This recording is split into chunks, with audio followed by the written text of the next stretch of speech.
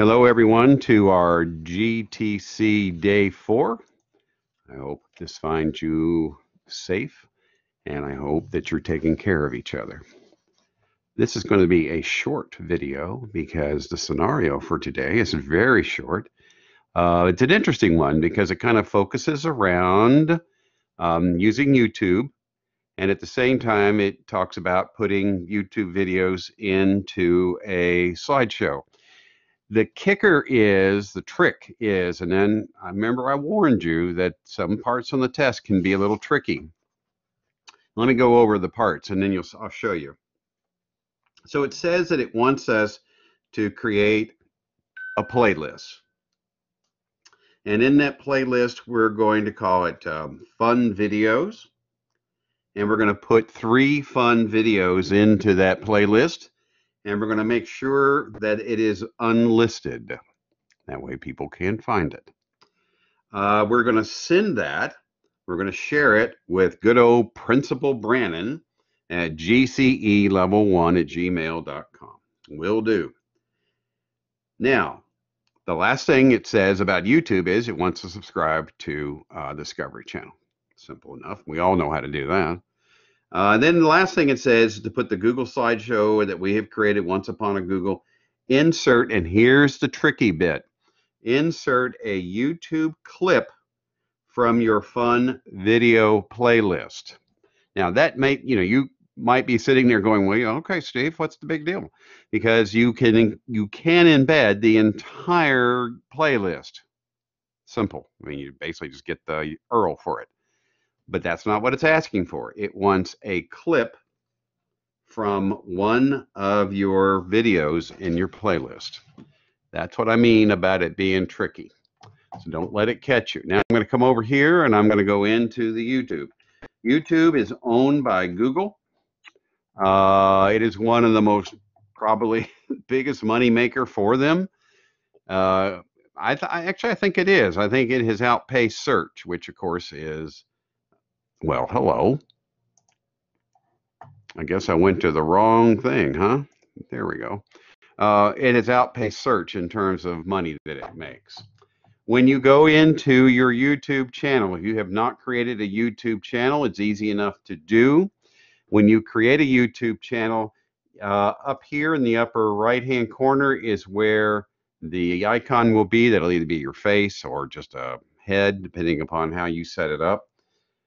But you go there to your channel, and then you come down here to customize channel. And by the way, you, you uh, do this by default. It creates a channel for you. And once we get here, we want to go to playlist. And we're going to, it's already created a playlist in practice. So we'll just go ahead and I'm going to show you how to do it. And then we'll go back and just use that one because it's so easy right here. So you went into channel, customize channel, playlist. And from here, you then go new playlist and you can call it, we're calling it what? Fun videos? Fun videos. Yay.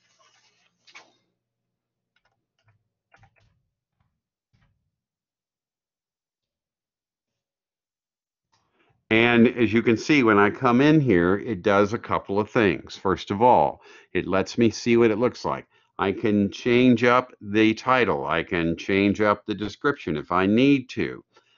I can change how it's listed, and this is the part of the scenario. It doesn't want it to be public. It wants it to be unlisted. Now, how do we put videos into this playlist? We don't need to go back to YouTube and go searching for videos. Okay, you can do it all from this part right here. Go down to your three dots, add video. Simple as that. All right, let's see. Let's do um, Planet Song.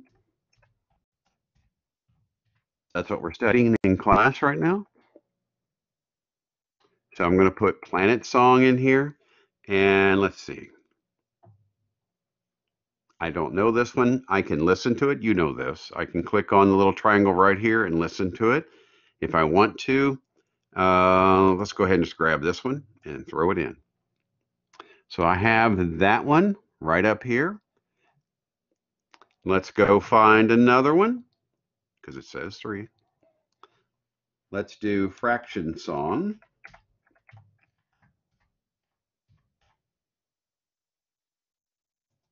And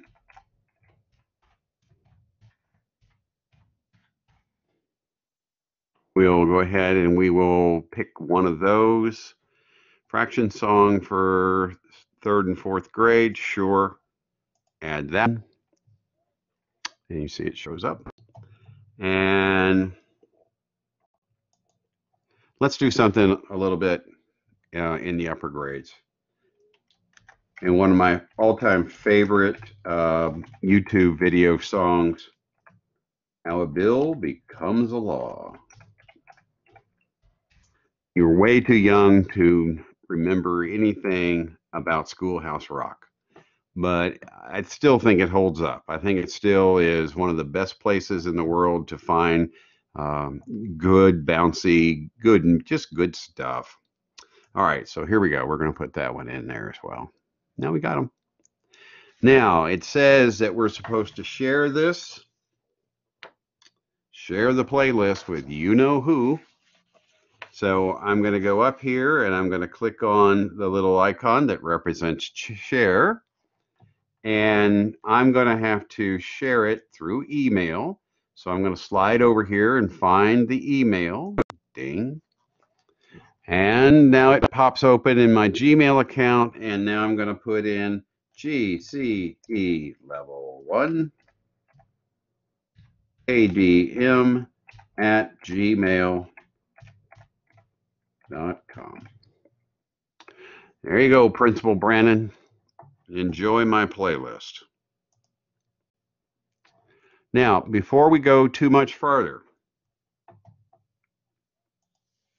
we need to go back into, and I kind of blew myself away there, but what I what it's asking you to do in our next part is it wants you to put in a clip. Remember, this is the tricky bit. So I'm going to go into the playlist and I'm going to open up one of these. I'm going to open up my Schoolhouse Rock because I love my Schoolhouse Rock.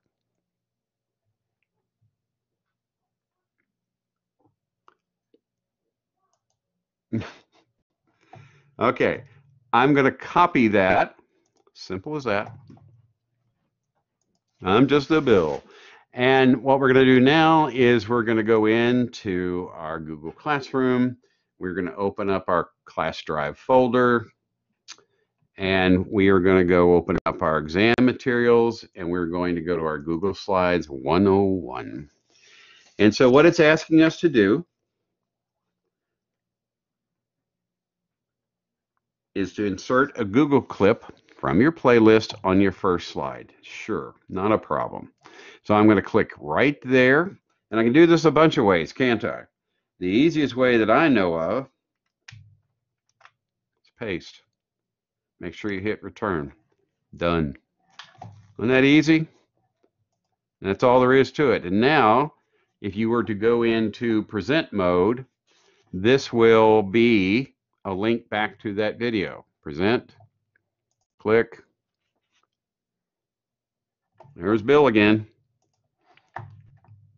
Simple. Just so simple. Okay. Now, what do we want to do after we've done that? Uh, I think it says to go into slide number two and to leave a comment. Well, you know how to do that as well now. So you basically go to, you can go to this, again, you can do this a whole bunch of ways. You can go to slide two, you can come up here and click on the comment. You can right click on the slide two and come down to the comment, comment, and there it is. Let's see, it wants us to say in this, should we add a video here also?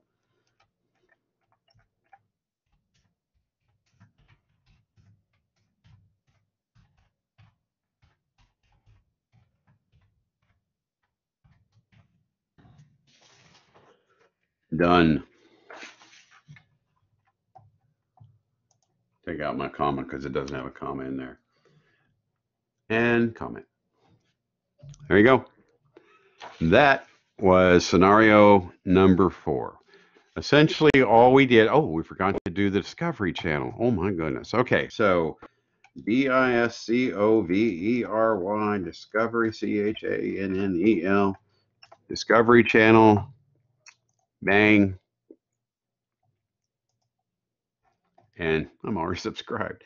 But you know what to do. You'd go over here and you'd subscribe by clicking on subscribe. Now, it doesn't say anything in here uh, about the, you know, notification icon. So I'm going to leave it alone. I'm not going to mess with my bell over here. I'm going to leave it just the way it is. And I have subscribed. Done. Told you it was simple.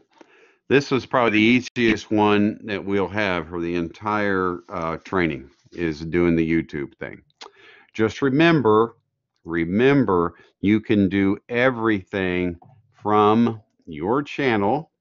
And now, let me make something clear here because this you may not be a, a, person who has a channel and that's okay because in the test remember everything they do in the test they set up so they'll have that channel set up and so all you're doing is you're going into it your channel you're going to find playlist you're going to go over here to customize playlist and then from here you can build that new uh, you know playlists they're asking you to do.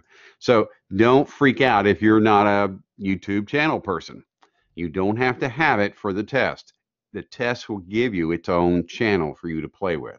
If you are a YouTube channel person, and if you do use it with kids in your mm-hmm. classroom, do me a big favor. Come over here to the icon that represents you, whether you got a picture in there or not.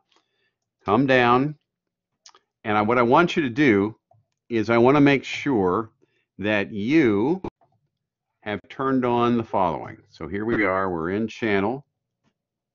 I'm going to come all the way down here and I'm going to make sure I have my restricted mode turned on.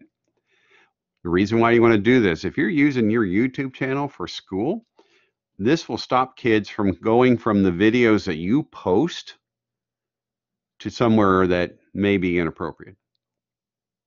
Now, you're using the Google filter you're using what YouTube and Google have determined is inappropriate. So, you know, take it for what it's worth. In JCPS, you'll be going through the filter filter that's in JCPS. So, not too much to worry about, but just, you know, belts and suspenders being overly cautious, turn that on. Let's go back to our content and let's do our questions for today. Mr. Jones has invited Ms. Jones, excuse me, has divided her class into groups to work on different geography projects. Great idea. Great idea. Um, my here's my basic take on Google Slides in the classroom. I would use it as a tool for managing, as a tool for organization. Um, please, oh God, please don't stand there and run a Google Slide presentation for 30, 40 minutes at kids. Why? Put it in the classroom. Tell them to go look at it. Then bring them back and have them discuss. But where Google Slides stands up and begs to be used is in collaborative groups. What are some of the benefits of using slides in a classroom? This is one of those things where you get to check, you know, all the answers that apply. Students can import and edit edit a video directly in a slide without additional software? Nope, can't do that. Students can export to completed presentation as a flash animation? Nope, can't do that. Students can make their own copy of the slide deck from a shared link? Yes. Students can collaborate on the slide deck at the same time? Yes. Students can browse and copy slides created by any student at any other school, only if they have the permissions to do that. So that one, I don't think I would check. A student comes to you having deleted six of his 12 slides in a presentation. Unfortunately, those slides cannot be recovered in revision history due to slide revision hierarchy. That's not false. You can get them all back. On a single slide in a presentation, how can you reveal steps for a science lab process one step at a time? Using animations, duh. So your animations is where you go in, and they're really limited. Boy, are they really limited. Let me go back in here. Uh, let's see, it's under Tools. you just there's just not a whole lot of stuff that you can do uh, transitions you can do and you know that that's and object animations that's about it folks. So eh, you know which is okay because if you think about remember all those horrible powerpoints you've had to sit through where stuff is flying in and twirling around and all of that you know it's one of those things where yay you don't have to put up with that here's one i did want to show you and i forgot to under tools here's that good old voice uh, type thing again but you'll notice that it allows you to put it you can sit here and, and narrate your speaker notes uh, before you do do a presentation. You may have to do a presentation for um, the faculty or your principal. Um, you can go down here and put that in. Here's rule number one about using Google Slides, PowerPoints, things like that. The whole point of it is it's in its name. Present. It's to present results. It's to present information. You do not use it to teach with. Now, that might be a fine line, but it really is the truth. On a single slide in a presentation, well, we just did that one, animation. How can you insert videos into presentation? Upload a video from your hard drive? Yep. So embed a URL the video stored in Google Drive? Yep. Click insert and select video from the menu? Yep. Import your presentation into you into YouTube? Oh, no, that one doesn't work. Animations can be used to control the sequence in which objects appear on a slide in a Google slide. Yep. Speaker notes are not allowed in presentations on Google Slides. False. We just showed it to you. Which can be inserted into a Google slide presentation. Text, images, YouTube video, D, all the above. Students are compiling individual slides into collaborative class presentation. How can the teacher copy these slides into a master presentation? She can do it either in one of two ways. She can share it, uh, they can share their presentations on a Google group, or she can just use the import slides feature and just throw them all into this one giant presentation she's going to do. Speaker notes are not allowed in presentation. I don't know why that's in here again. It's false. How can your students embed a presentation on a web page? Woo, and share it with the world. Look how easy this is. So the, the, what we're going to, and we'll be going over sites, I think on Monday, I'm not sure, of next week. Uh, sites is the Google answer to the whole, um, you know, creating stuff for the web. And all you do is go down here. And then you go publish to the web. And then you get these. By the way, this is a question on the test one of the questions is um, can there's, there's, variations on it, but one of them is can you uh, do the following things with your presentation on the web? And if you create your presentation and click these two boxes, you can do just about anything. So in other words, it'll start the slideshow as soon as the player loads. It'll restart the slideshow after the last slide. Always a good idea. And there are two ways of doing that of putting it out there on the web. Um, and we'll talk about this when we talk about sites. One of the best things you can do is when you do the embed, you can make it nice and big. Um, you can auto advance it if you want to, um, which, you know, is nice because it will run through the slides. It takes the human eye about six seconds to read something. I'll do 10 just to be on the safe side. And then all I have to do is copy this and put it into my site's uh, location where I want it to go, and poof, my slideshow is now on the web for the world to see. Like I said, we'll do that next week. And that's it. Flashcards for Google Sites. I got a bunch of flashcards in here for you. Um, let's see. We know what a slide is, thanks. We know what a presentation is. Icon, we kind of know that. App, we kind of know that. Theme. How does it, this background design for slides in a presentation? Well, duh. Title, we know that. Image, we know that. Insert, we know that. Select, rename, let's keep going. Upload, download, wow. Tool, visual aid, Google Slides. Let's see how it describes it. Create, edit, polish presentation in your browser. No software required. Can work on at the same time so everyone has the latest version. True. Transitions, we know what they are. Text box, we know what it is. Word art, we now know what that is. Layout, we know what that is. Animation, template. By the way, the template is a way for you to control uh, for kids. Let me show you. You can create a template, and that way, then when kids um, want to create their own, uh, into two minds of this. You can create a template and send it to kids um, and say, use this template. I'm I'm a two minds of that because you know allowing kids to be creative is kind of cool. But at the same time, I get it. If what you're really trying to focus on is what they're trying or the information that they're putting out mm. there, fine. So all I have to do, and you know what I have to do, is I go in, I create this thing, and then I share it. There you go. Anybody who can link can view it. Nope. Anybody who has this link can edit. And now what I would do is I would put in my people that would represent my one group that might be doing this, send it, create it again, send it to another group, send it to another group, send it to another group. Simple. You know that. You know all about that by now.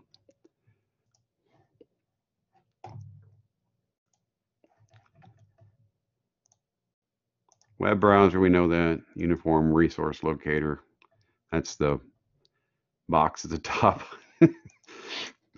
Menu bar, we know what that is. Enhance, etiquette, file, stop motion animation. What in the world's that got to do with anything? Animation captured one frame at a time. Okay. Publish. Okay. You studied all 30 terms. Thank you. There we go. That is scenario number four. Uh, as I said, probably the easiest one in the whole test. You won't have any trouble with it. Just make sure that when you do that, um, create that playlist, you do everything within the playlist. Don't leave the playlist and go find the videos. Don't do any of that. Just add the videos through the playlist. It's much simpler, much cleaner. You can change it to unlisted. You know, it's a time saver. As always, if you have any questions, comments, or concerns, oh, by the way, I forgot. You're going to take this creation that we just did today with these videos and all of this. Make sure you go up and you do the copy the URL of it. Uh, you come in, you go into your assignment list. You go into the link to the assignment